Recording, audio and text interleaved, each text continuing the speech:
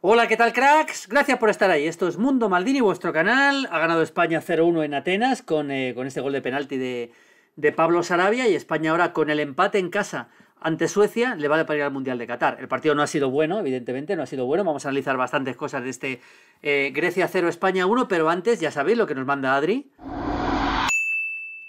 para que os suscribáis, amigos de Mundo Maldini. Eh, gracias a todos los que lo estáis haciendo ya y gracias por, este, por, toda esta fidelidad vuestra, evidentemente. Esta noche, por cierto, comento en Movistar el Brasil-Colombia. Mañana vais a tener los resúmenes de los partidos de Sudamérica que se juegan esta noche, que son varios, y mañana Uruguay-Argentina y muchas más cosas. Vamos allá, venga.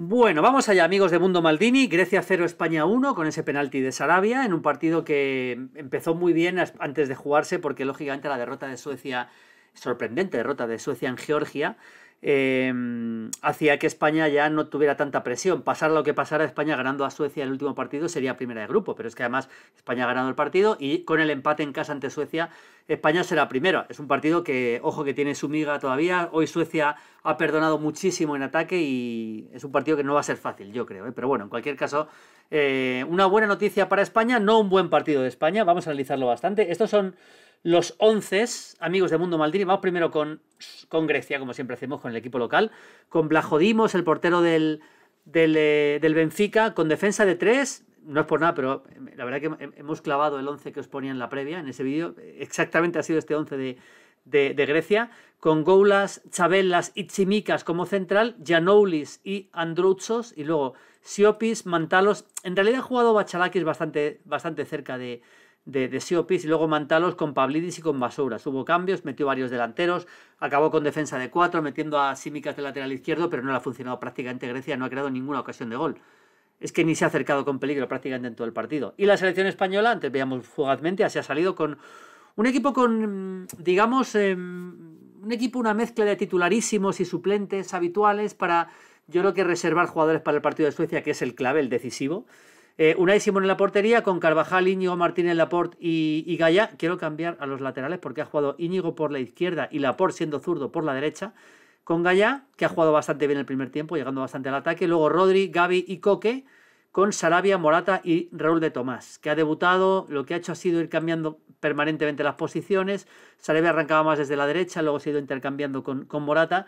En un partido en el que a ver, eh, el, partido, el partido no va a pasar a la historia, no nos vamos a engañar. Ha sido un partido bastante aburrido, bastante plano, bastante plano. España empezó bien, empezó moviéndome la pelota. Aquí tenemos la, foto de Gaby, que me ha parecido de lo mejor de España. Creo que Gaby jugando como interior izquierda, lo que pasa que pensando en clave Barça, esa es la posición de Pedri.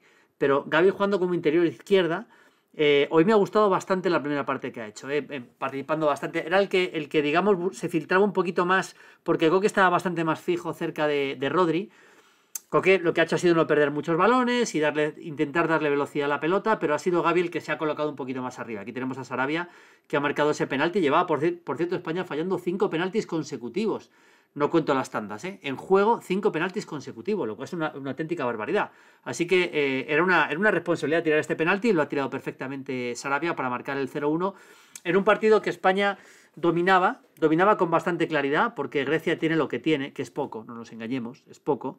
Eh, encima le faltaba Bacasetas, que es su jugador más interesante de tres cuartos de campo, cerca de la delantera, se queda sin delanteros de primer nivel. Eh, jugaba como central por las bajas de los centrales, es decir, que hoy Grecia, la verdad que poco podía hacer. Y poco ha hecho. Ahí tenemos a Yanulis con, con Carvajal. Quiero comentar una cosa, mientras vemos aquí ese gesto de, Pablo Sarabia. Aquí lo tenemos con Gallá. Ahí va a ir yo, amigos de Mundo Maldini, el tema de Gallá. Quiero vuestra opinión en los comentarios, ¿eh? porque el partido no ha sido brillante, pero ha dejado muchas cosas para, comentar. Eh, em, me ha parecido bastante mejor en ataque que Carvajal. Carvajal ha llegado poco por la banda derecha, ha llegado mucho más Gallá por la banda izquierda y España al final volcaba el juego por ahí, porque por ahí estaba Gaby, por ahí iba habitualmente Morata o Raúl de Tomás y por ahí llegaba Gallá. Y por ahí ha llegado la jugada de mayor peligro. De hecho, en la jugada que luego origina el penalti en el córner es una jugada por la banda izquierda. Gallá en la primera parte ha llegado más. En la segunda parte, la verdad que han llegado bastante poco. España prácticamente no ha creado peligro en toda la segunda parte. En una segunda parte que lo mejor que podía pasar era que pitar al final, porque poco a poco los griegos han ido creciendo ligeramente y han, han intentado atacar pero la verdad que la sensación es que, es que en ningún momento ha incomodado a España. Pero bueno, el partido ha sido tan flojo que, que casi casi lo mejor era que terminara con el 0-1. Raúl de Tomás, aquí tenemos la foto de Raúl de Tomás. Em, ha estado bien, ha estado bien, yo lo estaba comentando el partido en copia, ha estado bien, se ha movido bastante bien. Es un jugador que técnicamente es bueno para jugar cerca de los costados, aunque él es delantero centro. Lo que pasa es que pensando en una convocatoria para, para el Mundial, si finalmente España se clasifica, teniendo en cuenta que no estaban ni, ni Ferran, ni Gerard Moreno, ni Ansu Fati, Incluso ni Jeremy Pino, por ejemplo, y seguro que me olvido de alguno, ni Oyarzábal. Es muy difícil pensar que Raúl de Tomás tenga opciones para ir al Mundial en la lista. Pero bueno, eh, tampoco te creas que me ha gustado mucho el partido de Morata, ¿eh? con lo cual vamos a ver.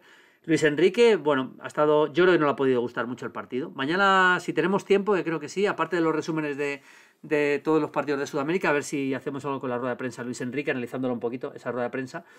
Pero yo creo que no le ha podido convencer mucho el partido, lógicamente. Lo mejor Gaby, ya digo.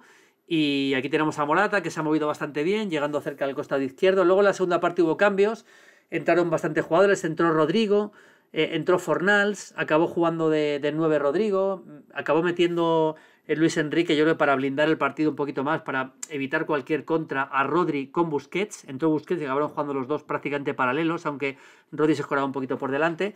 Hoy no ha habido esos, esos, eh, esos desajustes defensivos, tanto un equipo que casi no ha atacado, evidentemente, con Íñigo Martínez y con Laporte. Eh, y bueno, España ha acabado ganando el partido sin sobresaltos, pero sin brillo. No nos engañemos. Es un partido bastante, bastante flojo de la selección española, pero bueno, el 0-1 ante, ante una flojísima Grecia le sirve a España para depender de sí misma, eh, incluso con el, con el empate que será la clave de todo ante, ante la selección sueca, que veremos, ya hablaremos de eso, veremos, aquí está Dani Olmo, que entró en la segunda parte para intentar eh, moverse entre líneas, pero prácticamente no pudo participar. Digo que en la segunda parte, pues, eh, pues España, no, diga, no digo que no atacó, pero atacó mucho menos y desde luego no creo prácticamente peligro. La verdad que prácticamente no creo peligro España en la segunda parte. Así que un partido que no va a pasar a la historia, casi casi ha sido más importante la victoria de Georgia sobre Suecia y sorprendente que, este triunfo de España, que es verdad que, ahora mismo hace que España dependa de sí misma. Con el empate, España estará, como todos esperamos, y que como creo que va a pasar, sinceramente, en el, en el Mundial de, de Qatar. Así que nada, 0-1 y me voy a la tele y comento esta noche el Brasil-Colombia. Ya digo, mañana tendréis un montón de, de cosas sobre el, sobre el Brasil-Colombia, el resto de partidos de Sudamérica. Mañana se juega por la noche el Uruguay-Argentina, también tendréis el resumen.